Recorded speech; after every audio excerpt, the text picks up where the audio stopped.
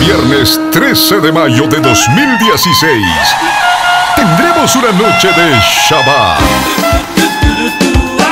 Recordando los 68 años del cumplimiento exacto de la profecía de Ezequiel 4.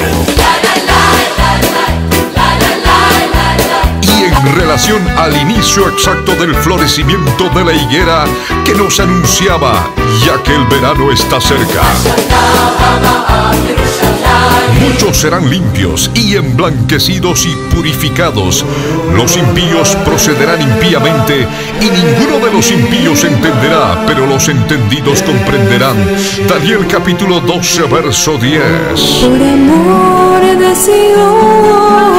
Los que tengan entendimiento de estas cosas hermosas, por el testimonio de Jesucristo que es el espíritu de la profecía, estar presentes en todos los auditoriums Cristo viene a partir de las 19 y 30 horas.